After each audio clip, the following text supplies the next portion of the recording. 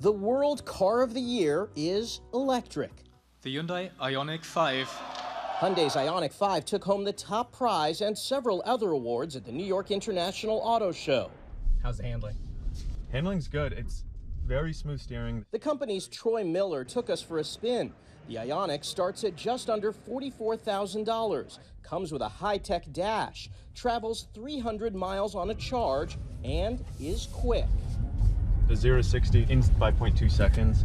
It's instant torque. It's it's very punchy. The big trend of the show this year is definitely electrification. Tim Stevens from CNET's Roadshow says more electric vehicle choices are charging into dealerships, from the $27,000 Nissan Leaf to the $90,000 Ford Lightning Platinum and the Porsche Taycan Turbo S with a $185,000 price tag. People have only had the choice for Teslas for so long. People are just excited to have a lot of choices on the market now. Stevens says EVs only accounted for about 3.5% of total vehicle sales last year, but popularity is growing, fueled by frustration with current prices at the pump. As gas prices continue to increase, that certainly makes things a lot easier to, to quantify from a cost standpoint that EVs make a lot of sense, not just for the environment, but also for your budget.